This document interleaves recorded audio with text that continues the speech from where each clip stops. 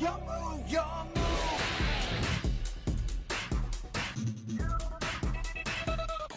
Yo, what's going on, guys? Not Rogue Tier here. I'm a, I'm I'm your good old guest, Casus from the Undead Royal Academy, and I'm coming here for a Salamangreat deck profile.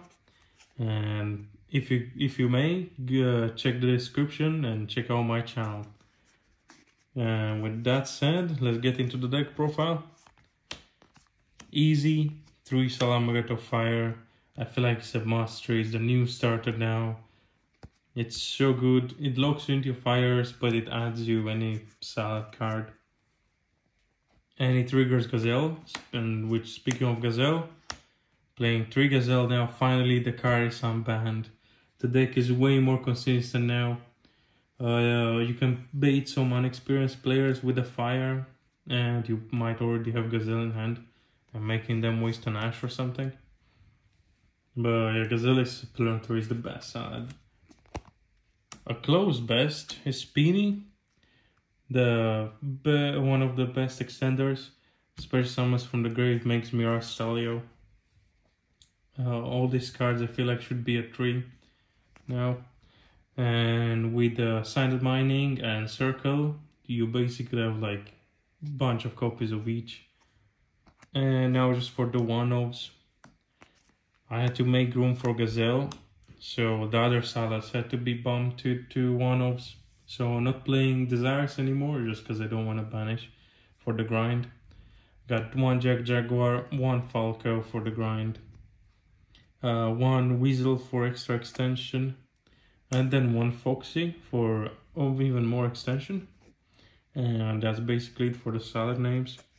Uh, I feel like this ratio is good, no more no less you might break on too many salad names or too few. Uh, next up, Speed 3 Ash. Uh, Ash is really good. Not only you can Ash basically every deck out there uh, has a card that needs to resolve that loses to Ash.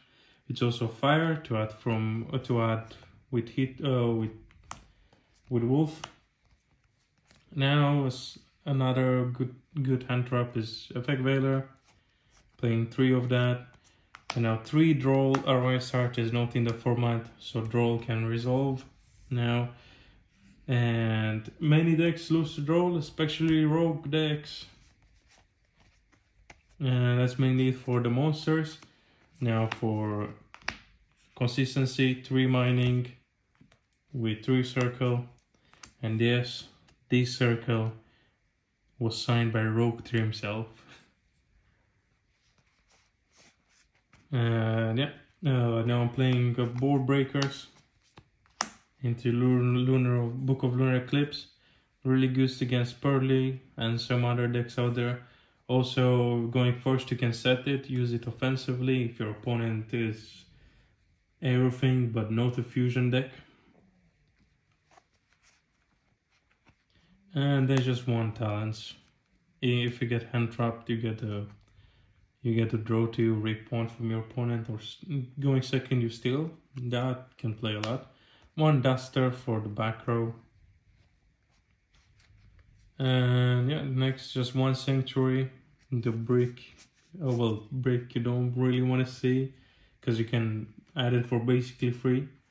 And one wheel in case we get Nib, wheels might help us survive the Nibiru. And just round it up with the traps, even more hand traps in the form of three imperm. And then the two Salamar's Path, Roar and Rage. Mm, yeah, Roar and Rage. To round up the main. You should play one of each because uh, in the combo you, you send Roar to the grave to set it and with the Raging Phoenix you add Rage. Uh, now for the side, I'm gonna play three Kaiju for those really big, uh, really big towers like cards on the board and a set of hand traps that can take the place of uh, uh, Book of Lunar Eclipse in the form of Droll and one uh, uh, D.D. Crow and one Ghost uh, Mourner. For more back row hate, playing three uh, Cosmic Cyclones. And then for going first, Three Dimensional Barrier is one of the best cards right now, absolutely busted. And Anti-Spell. Because really, once you get your uh, your your uh, sanctuary on the field, you don't really care about activating spells that much turn one. So uh, anti-spell fragrance is really good.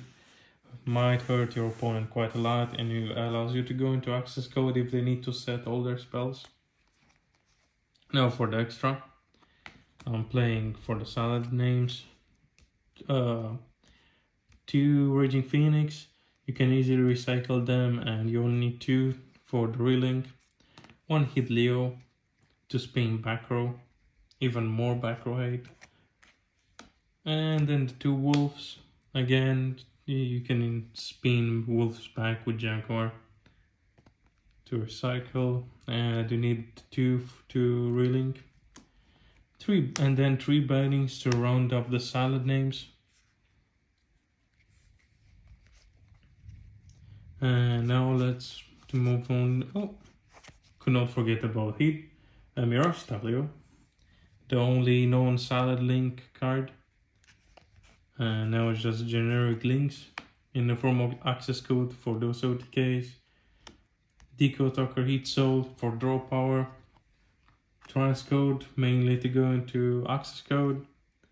And then two splash mages you most of the time you might need one splash mage to make your board and then you are not gonna have a splash mage on the follow-up to OTK your opponent so that's where the second splash mage is uh, many people don't expect a second splash so you can take them by surprise and then just the one update jammer uh, again for the access code OTK and that would be it guys Casus signing out. It's time! Go!